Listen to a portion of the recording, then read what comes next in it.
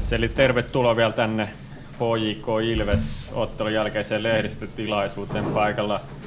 Ilveksen päivällä mitä Keith Armstrong ja HJKlta Mika Lehko suo. 2-1 voittoon päättyi HJKn kannalta tämä ottelu. Mika Lehko suo, mitä mieltä oli oman joukkueen esityksistä?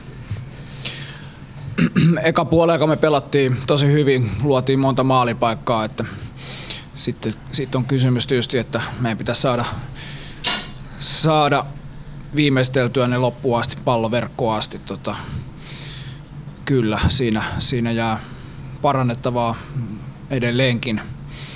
Toka puoli aika saatiin maali, maali sitten jossain vaiheessa ja sitten vähän turhaa lopetettiin pelaaminen ja myöskin vähän oltiin ylivarovaisia puolustamisen suhtiin, vetäydyttiin aika, aika turhaan helposti.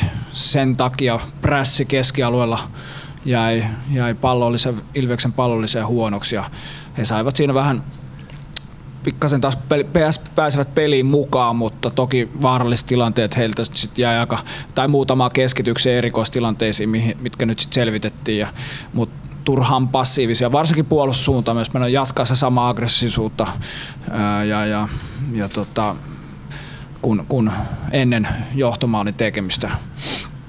Myöskin syöttöpelaaja, peli ja pallottoman pelaajan liike siinä hiipu, hiipu sen jälkeen. Että se oli, ei ollut ensimmäinen kerta tällä kaudella ja joskus siitä on vähän rokotettu meitä. Että se, oli, se, oli, se oli ehkä semmoinen negatiivinen, mitä siitä jäi mieleen siitä tota, pelistä ja, ja tietysti vähän kaivelee, että pelistä loppupeleissä päättyy vaan 2-1 siinä olisi ollut, ollut vähän reilumpaakin voittoon mahdollisuus, mutta tietysti kolme pistettä enempää ei voi saada ja se otettiin kuitenkin tuon viimeisen kupstasurin jälkeen, niin, niin se on totta kai tärkeä asia myöskin.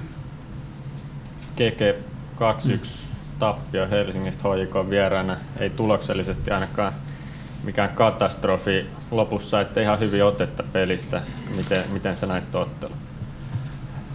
Äh, joo, tietenkin siellä lopussa aina vähän hämä näistä asioissa. Kyllä me saitiin jonkin verran mukaan, kun niin kuin Pana sanoi, että hoik oli passiivisia siinä mielessä, mutta se suurin, suurin tuota pettymys mulle, mikä me mentiin pelien kanssa läpi, oli meidän syöttötyöskentely. Se oli, me annettiin palloa liian paljon pois ja meidän ratkaisut sitten myöskin hyökkäyspäässä. Me, me tiesimme, että ei tule kovin monta maalitekopaikkoja.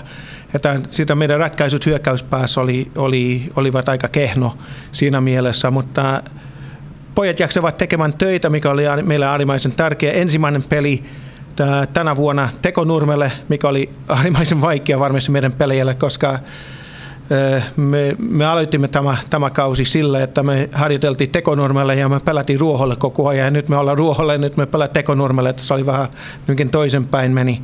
Mutta äh, pojat voi olla tyytyväinen tässä 2-1. 2-1 tuota, se, näytä, se näytä hyvältä, mutta monet ei varmasti odottunut, että me nappaisi mitään täältä ja, ja meillä on äärimmäisen tärkeä peli nyt lauantaina Interia vasta, että me katsotaan siihen.